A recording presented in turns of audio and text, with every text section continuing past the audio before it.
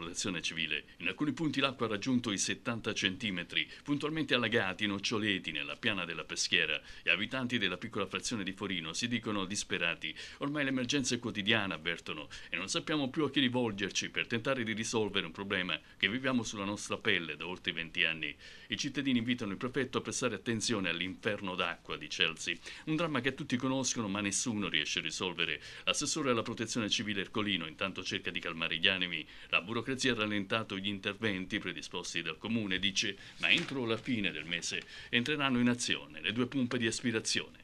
Eh, come testimonia anche l'immagine, cioè non, nemmeno 15 giorni fa abbiamo fatto l'ennesima denuncia per questa problematica, dopo 15 giorni con le prime piogge ci ritroviamo di nuovo a denunciare questo, eh, questo disagio che noi abbiamo, noi cittadini. Io penso che così non si può andare avanti perché prima era un'eccezione, adesso è diventata una regola, sembra che sia diventata una regola. Purtroppo la piana peschiera è letteralmente invasa dall'acqua, l'acqua non ha più sfogo e quindi ogni volta che piove ci crea questa, questa problematica.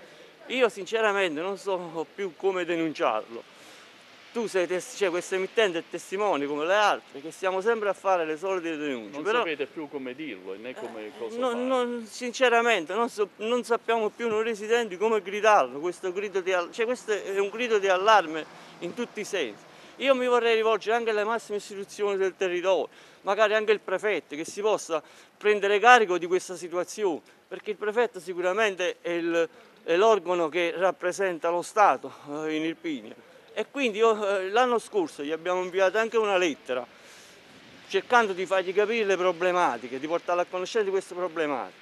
Adesso, ripeto, non è un'eccezione, cioè, ma qua è una regola, cioè, noi abbiamo letteralmente paura, ma paura perché ogni volta che piove, ieri abbiamo passato una domenica infernale perché con la paura. Noi come comune ci siamo attivati, infatti Comunico che abbiamo espletato le gare per la pulizia delle vasche a, a monte per togliere i residui solidi all'interno per rimanere una, una, capacità maggiore ricettiva di acqua e di, in giacenza all'interno di queste vasche. Poi a breve verranno sostituite due pompe che oggi non sono funzionanti perché ne funziona una solamente con i contributi regionali con l'emergenza dell'anno scorso. I tempi burocratici ci hanno tolto un sacco di, di tempo, però adesso partiamo. Poi come comune abbiamo istituito un numero verde per l'assistenza alla popolazione, infatti come si vede, come avete visto già le altre volte, i ragazzi dell'associazione locale di volontariato